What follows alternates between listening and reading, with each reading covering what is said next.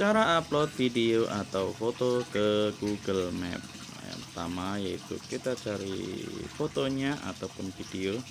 Untuk video itu durasi maksimal 30 detik ya guys ya. Nah kalau foto ya bebas ya. Nah ini misalnya foto kita ambil ini misalnya berapa foto lah? Satu atau lebih misalnya. Dua tiga.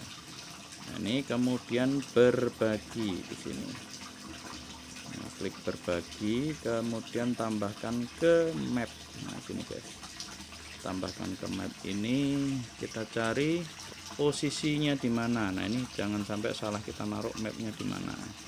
Nah ini misalnya kantor dan lain sebagainya. Nah jika tidak ada di sini baru kita cari tempat yang lain.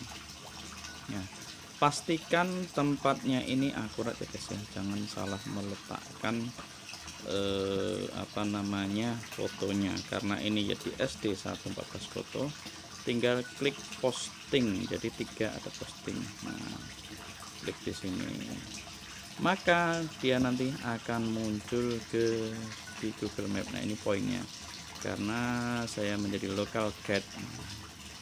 Jadi ada poin-poin tersendiri. Jika anda beruntung anda akan diundang California. Oke itu saja. Semoga bermanfaat